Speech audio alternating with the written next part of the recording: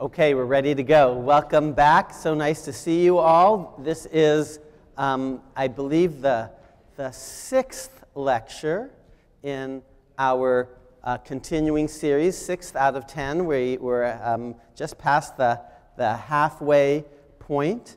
Um, and this one is a chapter on, uh, uh, it's actually called Citizens Disunited. It's on our culture wars. Uh, and I discuss uh, several issues in the chapter, but I think today I'm going to focus particularly in my prepared, in my initial presentation, on um, this very uncontroversial case called Citizens United. You've heard a lot about it, um, and I think I have some provocative things to say about it, but just um, uh, uh, we'll segue into questions and uh, other, among other things in the chapter, this chapter about how divided we are as a country in, in, in some ways. Um, uh, and uh, I talk about Citizens United, and I talk about gun control and the Second Amendment, and I talk about affirmative action, uh, and I talk about same-sex marriage, and here and um, and Robert Bork, actually, and uh, um, uh, who is a, a, polarizing figure in America, and Abraham Lincoln, who was another bearded Republican who was a polarizing figure, who actually is interestingly similar, I argue, to Barack Obama, another tall, skinny constitutional lawyer from Illinois, who also is an interesting and politically polarizing figure. So polarization is not necessarily the um, a, a, a, criticism of the person who stimulates these strong responses. I'm with Lincoln, even though he was polarizing. Um, so um, here's uh, uh, what unites the chapter. My claim is the liberals often in America go into one corner, and the conservatives in America go into another corner. Um, these four major landmark cases um, Citizens United, a case about the second, which is about um, campaign finance, a case about um, gun control, actually a pair of cases called he um, and, and uh, Heller and City of Chicago versus McDonald.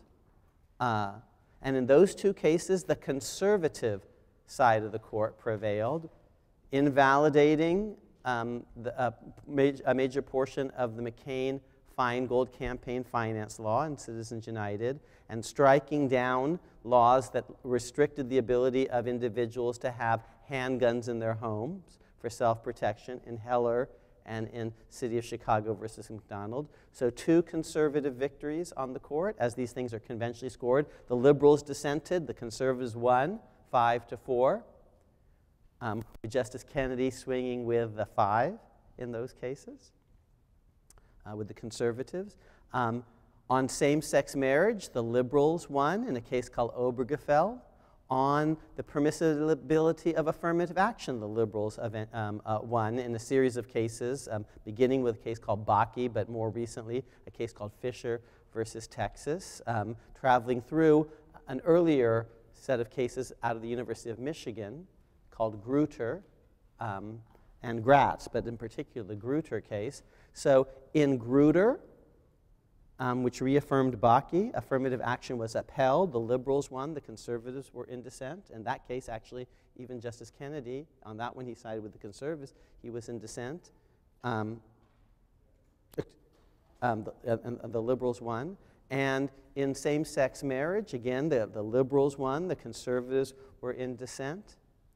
In, uh, there was no justice in all of those, in those four cases, in all of those um, court majorities. No justice who thought in Grutter affirmative action is okay, that there's a right to constitutional right to same-sex marriage with the liberals. No one who thought that and also thought with the conservatives that the campaign finance bill should be invalidated, the McCain-Feingold, um, and that there's a right to have a gun in the home for self-protection. No justice was in all four of those majorities, although Justice Kennedy has come around a little bit on affirmative action, and now he's basically um, uh, um, in line with all four cases, but, but at the time of Grutter, he wasn't. So no justice actually um, swung uh, really in all four.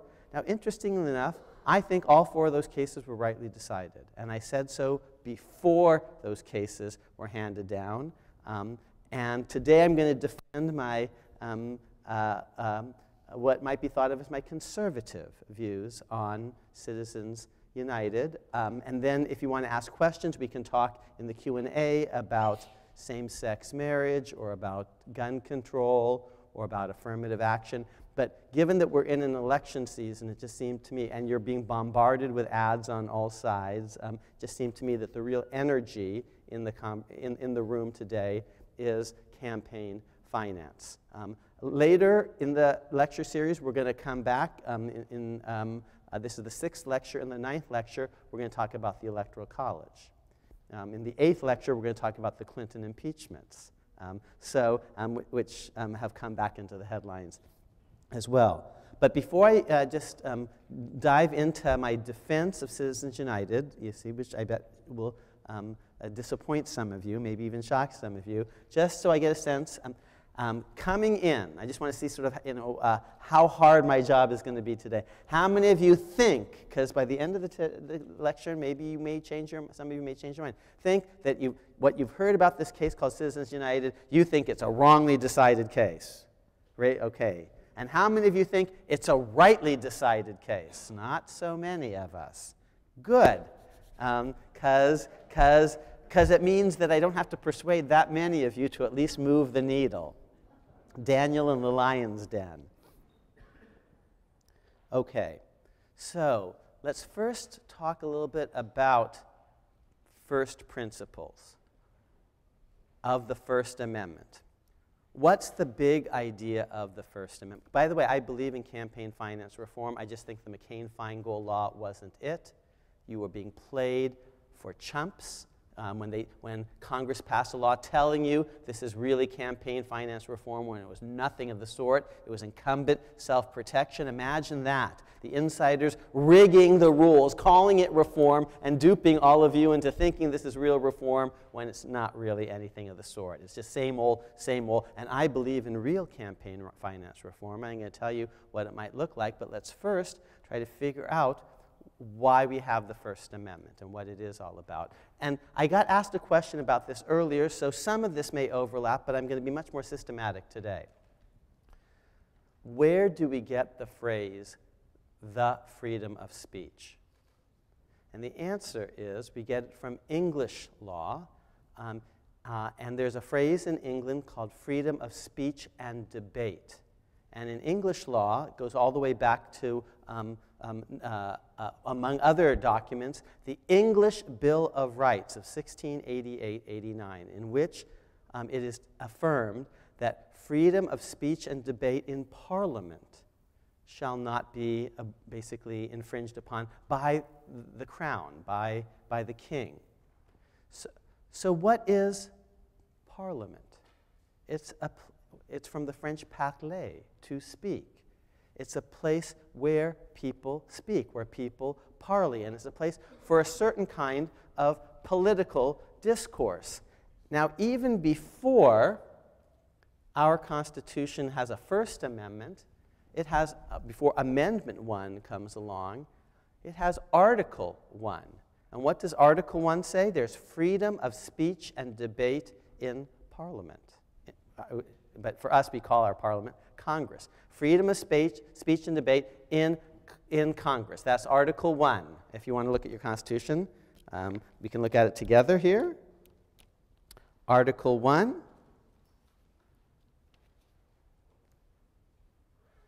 Section, it's either four, uh, 5 or 6 here. Let's just take a look. Um, I think section 6. Uh, if, if anyone sees it before I do, shout it out.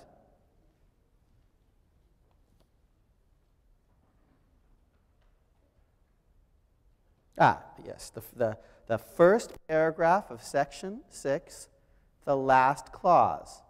Um, here's how um, basically that paragraph is. The senators and representatives shall blah, blah, blah, blah, blah, blah, and for any speech or debate in either house, they shall not be questioned in any other place. So, freedom of speech and debate in our Congress, in our Parliament. And here you see freedom of speech and debate in action. This is Henry Clay and he's holding forth, he's speaking. This is um, uh, from the same period as when, and when Lincoln is alive. Henry Clay is Lincoln's role model in certain ways. He's a Kentucky politician, a Whig, whom Lincoln holds in high regard, and he's speaking. And do you see the gallery? You can just maybe barely see it, but, but up in the balcony, the people are listening. Okay? That's freedom of speech and debate. It's political discourse, and you can be and whatever he's saying, you can, you can say, I agree with Henry Clay, or you can get up and say, I disagree, and the audience is listening. And just in case you're wondering where all this is taking place, it's taking place in this building. This is the first photograph ever taken of the United States Capitol, uh, 1840 or so. This is before they redo the dome. The dome gets redone when, when, during the Civil War when Lincoln is president.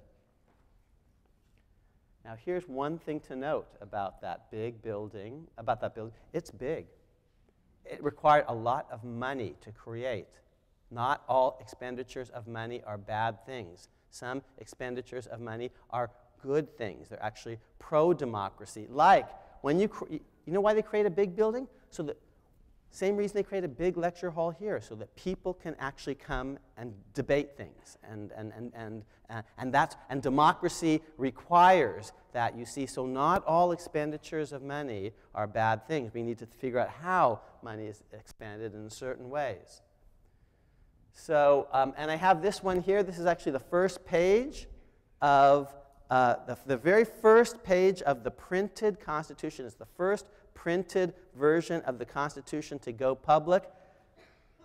Two days after the Philadelphia Convention ends, a printer in Philadelphia chooses freely to print the copy of the document. There's freedom of the press even before the First Amendment comes along. He's choosing freely to do it. And he, he's spending money to do it, and he's going to charge for it. He's going to get money for it, and that doesn't mean it's, it's a bad thing, you see, that he's charging money for his copy of the Constitution, which you can buy for, um, actually, it says up here, um, uh, it's, um, it's a couple of pennies or something, I think. Um, okay. The very process by which the Constitution was adopted was a process in which freedom of speech and the press was was part of the very process by which the Constitution was, was debated up and down a continent.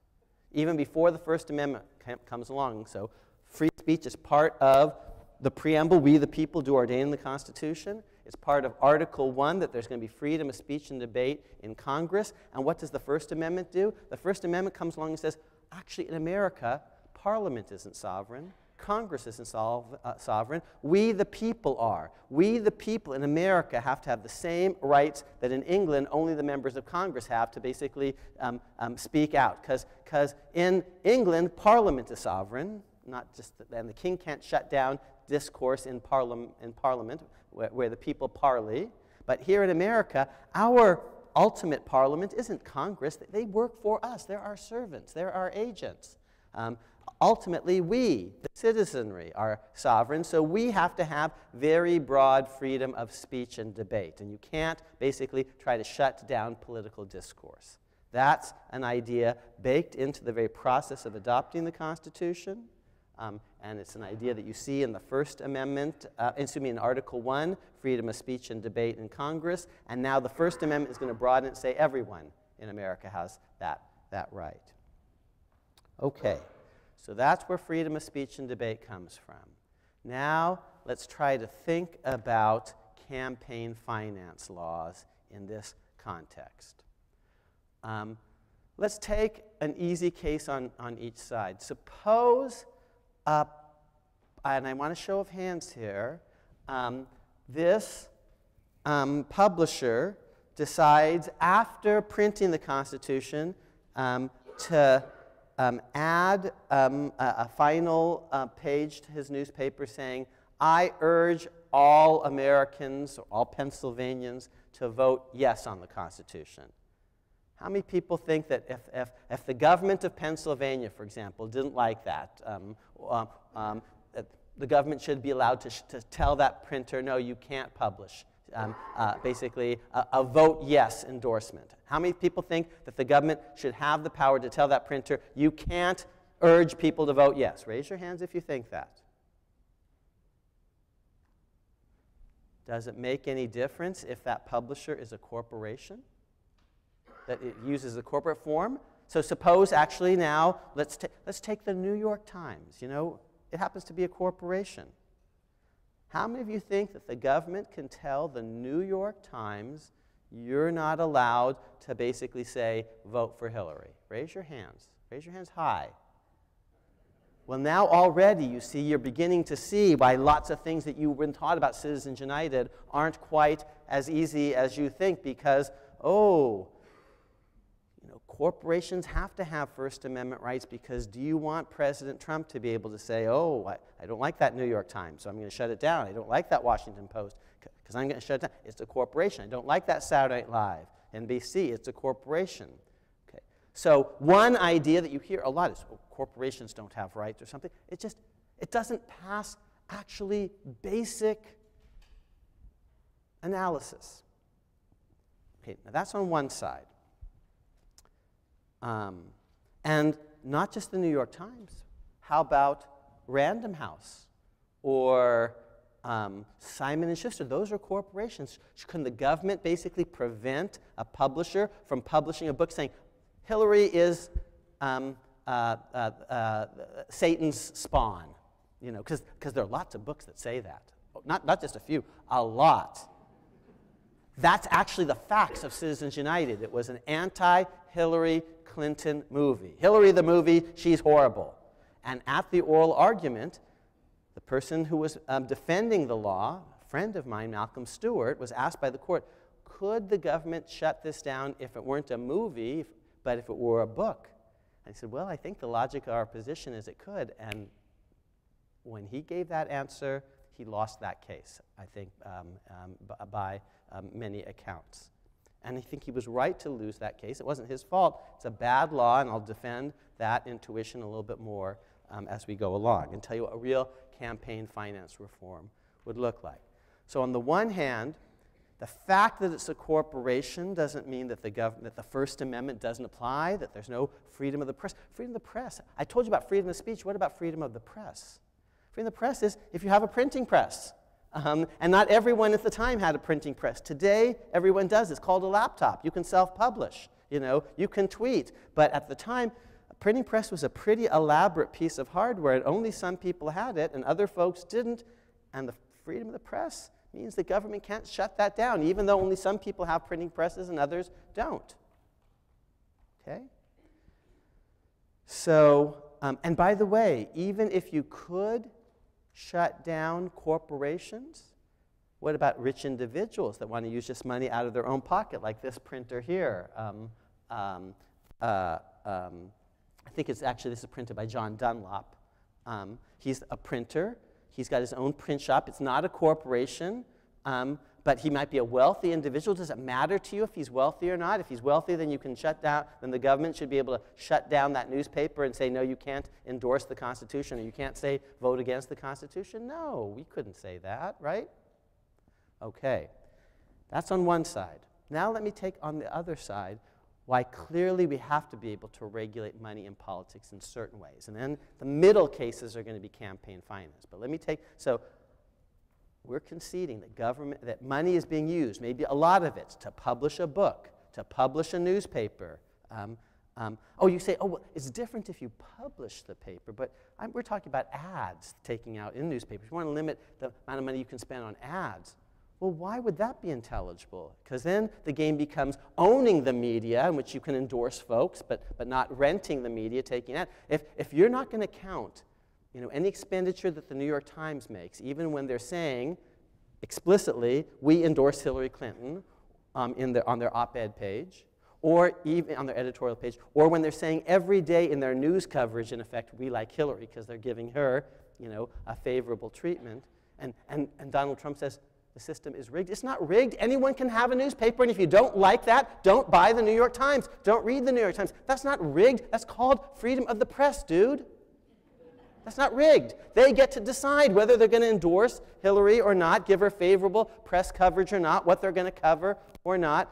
But and you can't distinguish between media corporations, though they can do that, but, but, but ExxonMobil can't take out an ad saying vote for Hillary. They're, they're both corporations. And if you could regulate ExxonMobil but not the New York Times, well, then the game becomes ExxonMobil buying the New York Times you know, and turning itself into a media company, into a conglomerate. So I don't think there's an intelligible distinction between media corporations and non-media corporations. And even if you say all corporations can be banned, which none of you did, thank goodness, but even if you did, there are wealthy individuals. You cannot, you know, prevent a wealthy individual from buying a printing press um, and putting out his ideas. And if you don't like them, don't, don't follow his advice. Don't, don't, don't um, uh, uh, read his paper, read some other paper. That's your choice as sovereign citizens, what to read, what to be persuaded by.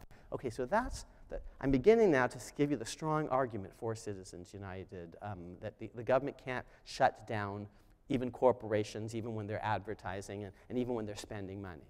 Now, on the other side, um, and even if it could shut down corporations, it can't shut down wealthy individuals. And we're never going to equalize everything because rich people have more money and they can spend it on all sorts of things, including trying to persuade you, the voters, to do this or that.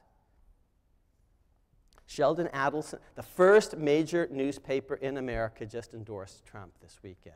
And lo and behold, it's a Las Vegas paper owned by Sheldon Adelson.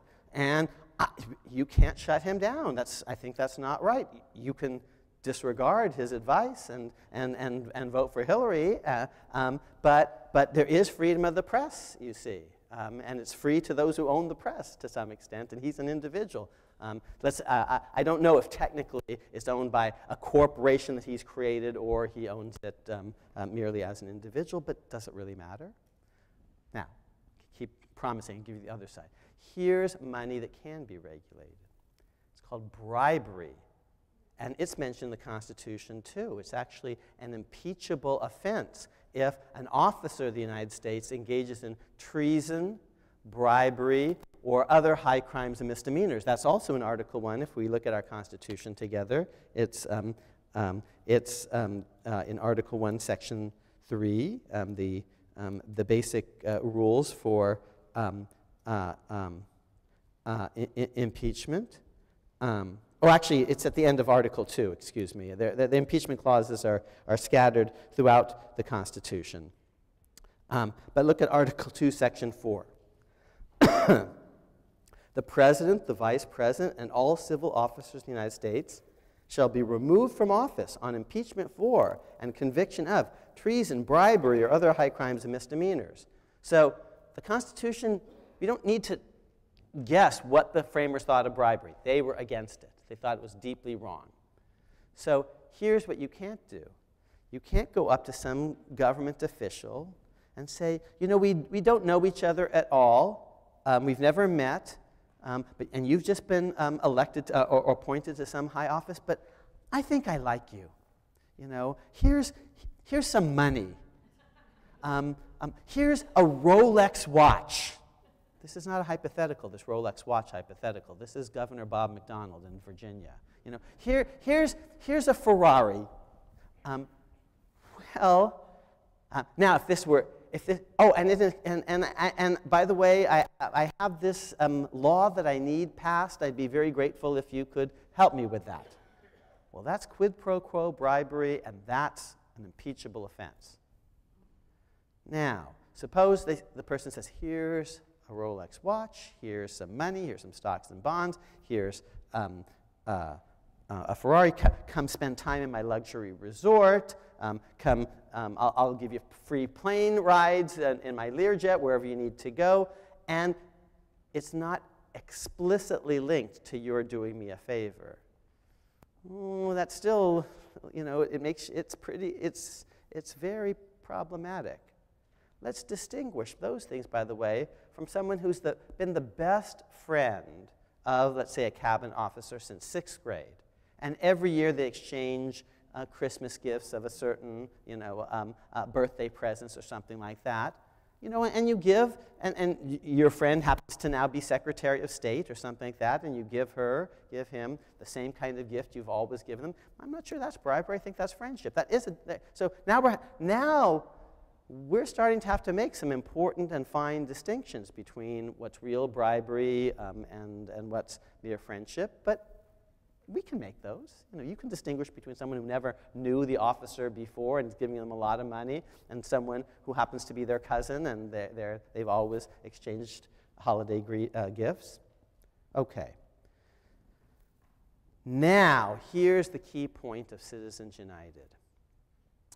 There are two very different kinds of ways um, uh, politicians can benefit from people with money.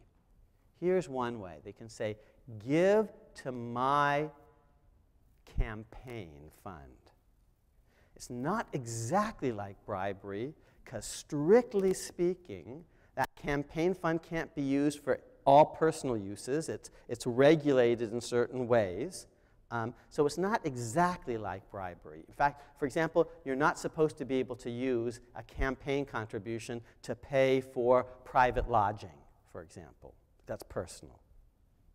Um, so it's not quite like giving you money that you get to use for all purposes. There actually is an important figure in American public life who 25, 30 years ago, I can't remember the details about exactly when, took campaign contributions, and it was legal then to do that, and used it to pay for his personal expenses, lodging expenses. His name is? His name is Mike Pence, and you all should know that, okay? Because that's actually, now, at the time, it was legal, but it stank. You know, lots of legal things stink. My view, that stinks. Okay?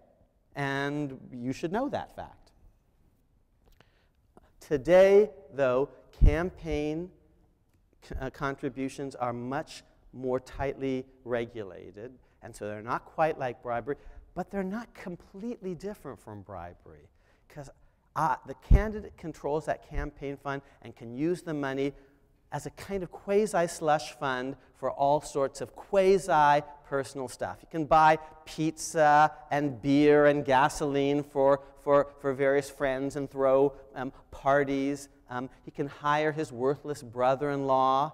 Um, uh, uh, whom he otherwise would have to give money out of his own pocket because his wife is nagging him. Now, th- these are all hypothetical, of course. My, my, my I, I, love my brother in law. Um, um, uh, they're totally hypothetical. Um, but a campaign contribution can, as a practical matter, be diverted uh, to quasi personal purposes. Slush fund for kin and cronies. Donald Trump is taking some campaign contributions and using them to pay members of his family to, to hire um, um, various um, uh, uh, uh, Trump subsidiaries, to, to, to pay rent to Trump Towers, actually, for space that the campaign is using. So that's taking a campaign contribution and funneling it into you know, a business that he owns, you see. That's not a hypothetical. That's happening today. And that's why campaign contributions, they're not exactly like bribes, but they can be strictly regulated and should be. But that's not what Citizens United was about. Citizens United was about a very different thing. It was about what are called independent expenditures.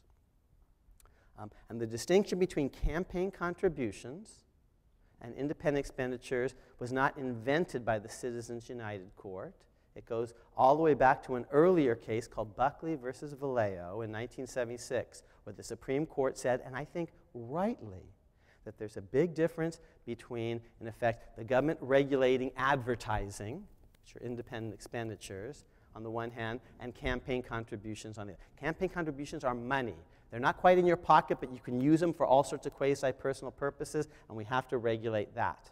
Um, and the money isn't being used for a pure expressive activity. It's being used for pizza and beer and to pay rent, maybe to yourself or your friends, to hire maybe your kin or your cronies. So, what are independent expenditures? Independent expenditures is basically taking out an ad saying, for Trump, vote for Hillary. And Citizens United says, building on Buckley versus Valeo, that's a very different thing. Very different, and here's why. I don't think the court did a good job of explaining exactly why. Here's the reason why. That ad is not money in the candidate's pocket. It's not money for his kin or cronies. It's not a quasi slush fund. It's not really that close to a bribe. It's much closer to the New York Times giving you an editorial endorsement.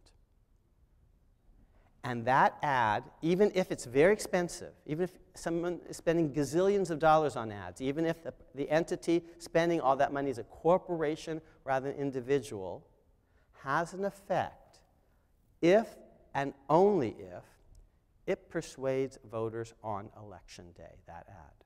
Because if it doesn't persuade voters on election day, it doesn't do anything. Unlike giving money to the slush fund, which I can use for rent or to hire my worthless brother in law if I'm the candidate, or, or, to pay for pizza and beer and gasoline for all my pals. No, an ad saying, vote for Amar, that, that works only if people on election day vote for Amar. And, that, and on election day, it's one person, one vote, secret ballot, and corporations do not vote on election day. So, that's clean money.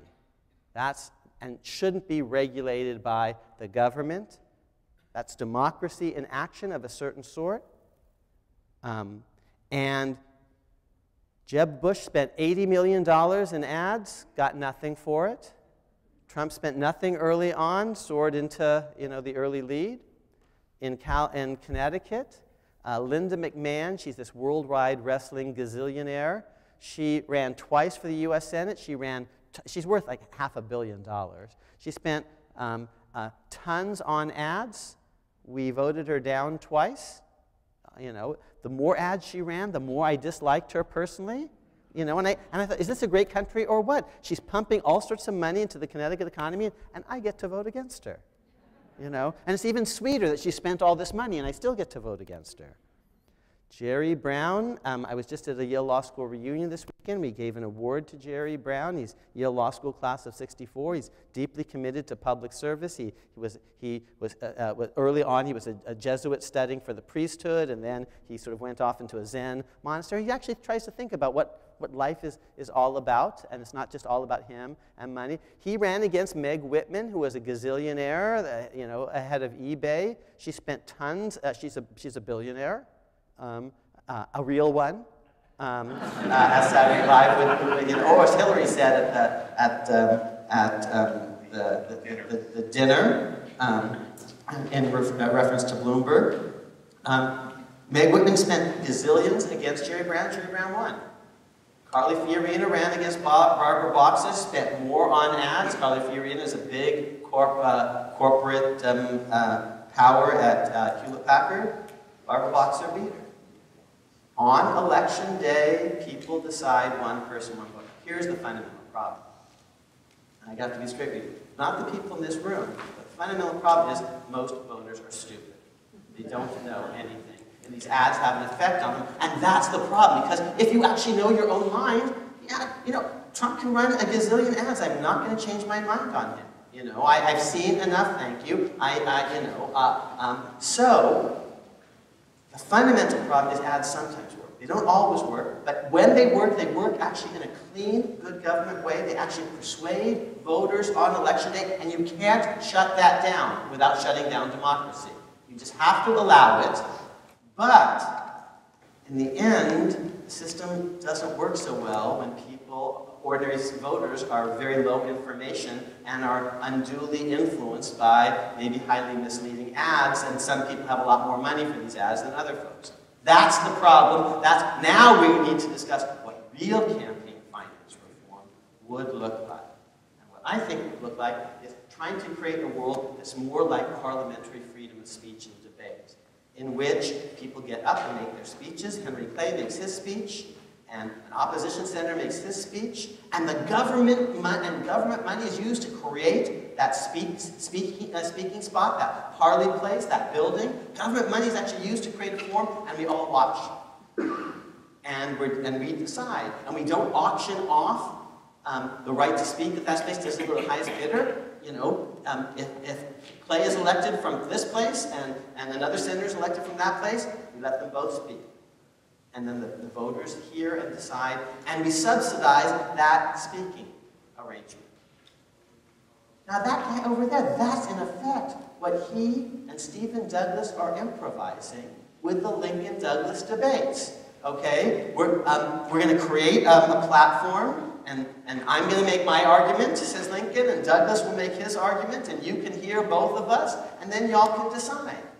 That's freedom of speech and debate. That's real campaign finance reform. One, one problem is with these ads, um, each side is, is appealing only to sometimes its own supporters. Um, you're not hearing from both sides at once.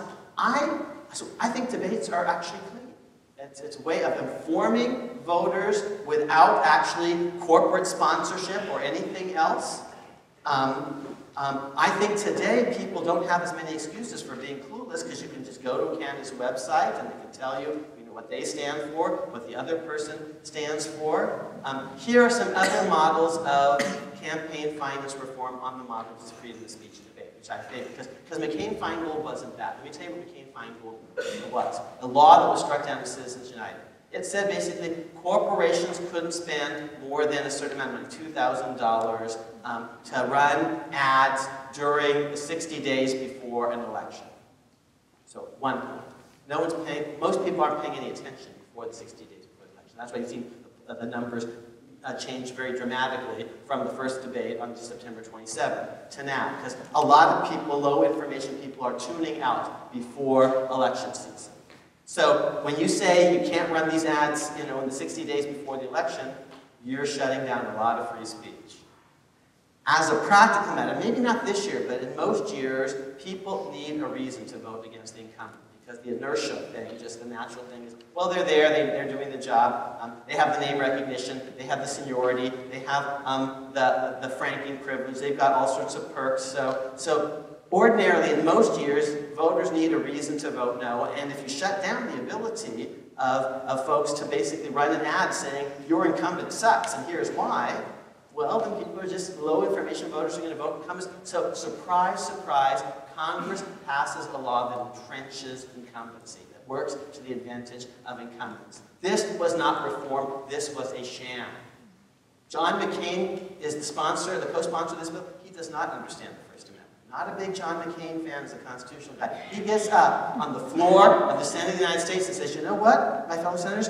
They're running attack ads against us, and we should stop that. He actually gets up on this. That's his argument for why you should have the, the Snowe-Jeffords uh, provision, uh, which is, was the one that was struck down in Citizens United, because people are running, I like attack ads.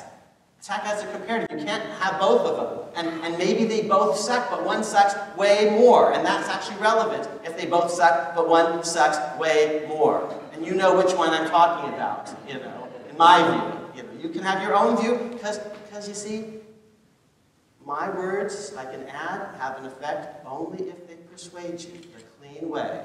You know, if they enter your mind and, and you find yourself persuaded by them. I like it. I think we need more money in politics, but of a certain sort, of a clean sort.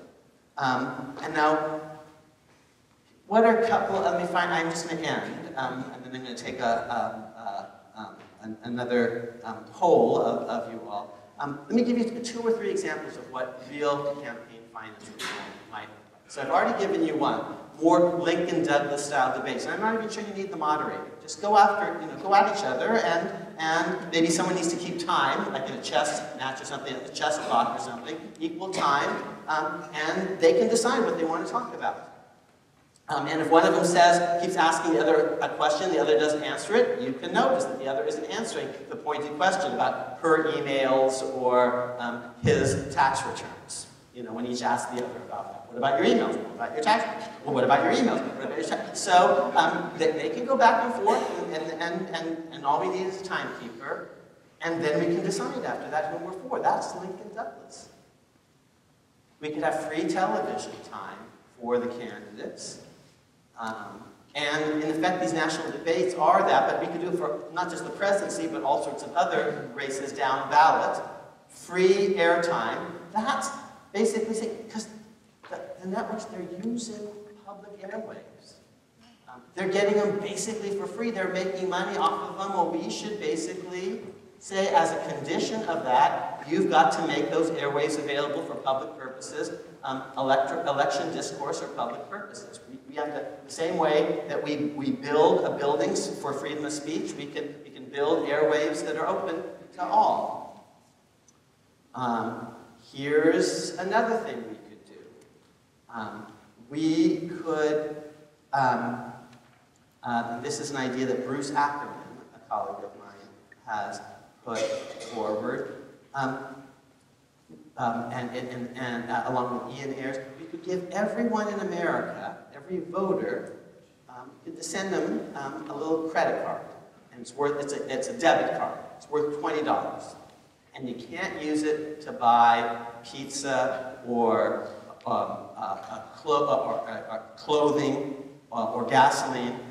You can only give it to the political candidate or the political party of your choice. It's a $20 voucher use it or lose it, and now the game becomes not one candidate getting a $20,000 contribution from, from, this, uh, uh, from Richie Rich, but a candidate trying to get a 1,000 vouchers, $1,020 vouchers from individuals. Now, you're all kind of part of the early process of, of GoFundMe, of, of funding these, um, um, these um, another idea is called Deliberation Day. In effect, in the same way that we pay jurors, when you have jury duty and you're missing a day of work, so we compensate you for your time, um, we, uh, um, uh, uh, two weeks before uh, an election, you go to your local public elementary school, which is often your precinct.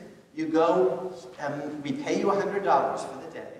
In the morning, you hear the presentations, maybe of each candidate. Have video presentations for all the different offices. Um, and not 30-second sound bites, but 15-minute infomercials in which you can explain why the other guy's plan sounds really good, but the numbers don't add up, and he's playing you for a challenge. Uh, uninterrupted, maybe 15 minutes on each side. So you hear all that. And then in the afternoon, you sit around in these classrooms. This is, this is an idea by Ackerman and Fishkin.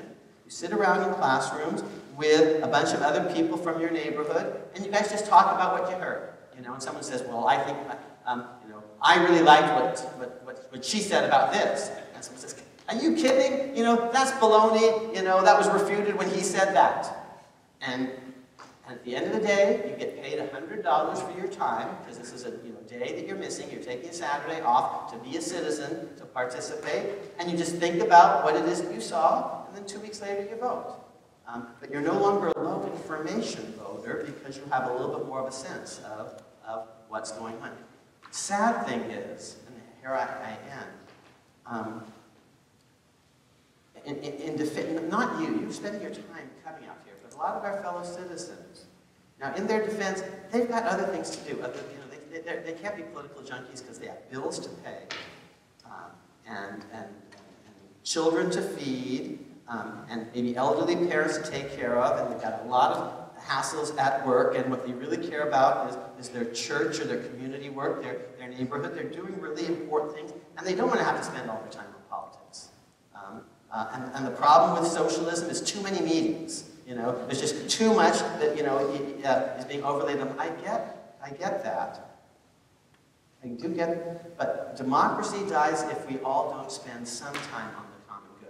we all have to pay attention a little bit. There's not just a right to, to vote, there's a responsibility to participate, and that means to actually educate yourself about the other side of issues, to hear both sides before you cast your vote um, as a citizen. And um, when I'm being, so when I'm being easy on my fellow citizens, I say, listen, I know that I'm asking for your time, your time is precious. And when I'm being hard on them, I say, you know more about the playoffs than you do about politics. You know, none of you can name um, uh, uh, uh, Jill Stein's running mate, but you know, like to the fourth decimal that person's ERA, or you know, you know all about the history of the Cubs, and you know, well, the last time they, they were in the, the, the, the, the, the championship series, and, and uh, excuse me, the World Series, and the last time they won it, you know more about baseball, which doesn't matter, than you know about pop, you know, about, about our, our, our system of government, which dies if you don't participate. So we have to find ways of actually creating a more educated citizenry. That's what's real campaign finance reform, not trying to prevent folks from running ads whose main purpose is to try to persuade you. And as I said, the ads tend not to work on me. Um, and, and if more citizens were educated, the game wouldn't be spending a lot of money on ads, but actually um, trying to, to make better arguments for citizens who actually demanded better arguments because they knew more about the policies at issue. Okay, how many of you, you know, uh, just um, now um, think better of Citizens United than you did before? Why don't you just raise your hands if any of you? Thank you very much. I'll see you next week.